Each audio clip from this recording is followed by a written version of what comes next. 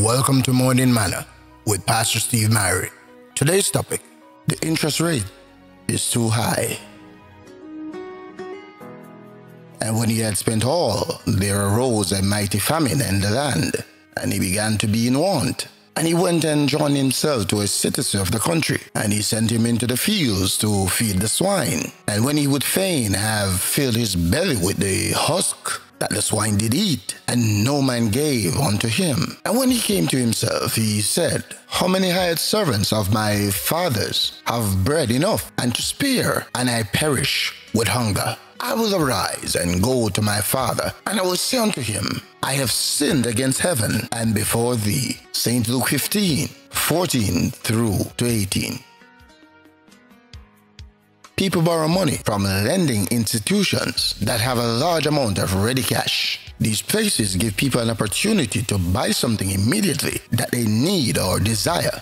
The bigger the cost of the interest, the easier it is to obtain a large amount of money for them. The wages of sin is debt, but people sin and are not struck by lightning. They continue in sin and find they do not pay. Ecclesiastes 8, verse 11 reminds us because the sentence against an evil work is not executed speedily. Therefore, the heart of the sons of men is fully set in them to do evil, but there is a payday coming.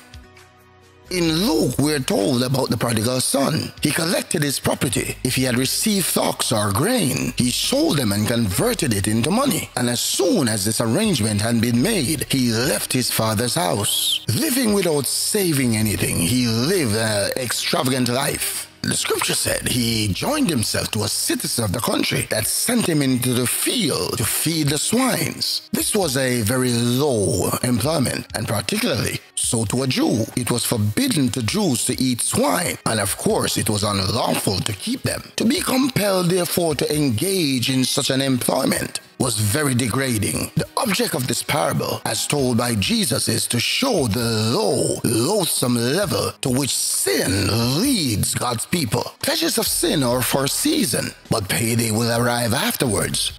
Never before now has Satan found it so easy to lure God's people into sin. We are by nature so temporal minded. Judgment day is coming, however, and hell charges a high interest rate. That is why its lures are so enticing.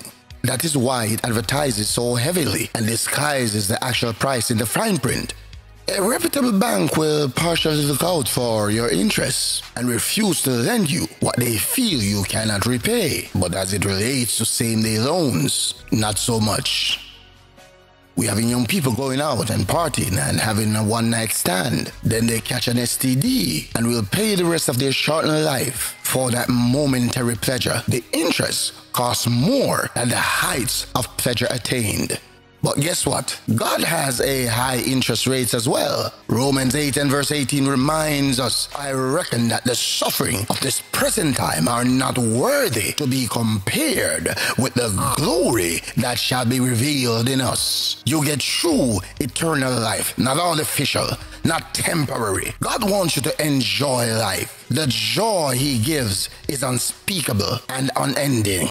So he tells you to put your treasures in heaven where it will never fade away. Jesus paid the price to get you out of debt caused by hell's high interest rates. You can consolidate all your sins and iniquities into one package and drop them off at Calvary. If you're making payments to hell for some foolish pleasure of sin, apply today to Heaven's Credit Bureau. Make an appeal to the blood of Jesus. There's a little song that the choir TRC sing. It says, I owed a debt I could not pay. He paid a debt he did not owe. I needed someone to wash my sins away. And now I'm singing a brand new song, Amazing Grace. Christ Jesus paid the debt that I could never pay. He remits your sins and forgets your sins. You need not to pay more installments of pain and guilt and sorrow. The devil may even try to come back and make you pay some more. Don't give in. Remind him that your debt is paid in full. Tell him about the blood that Jesus shed. As expensive as it is, Jesus paid it all. All to him I owe. Sin had left a crimson stain. He washed it white as snow.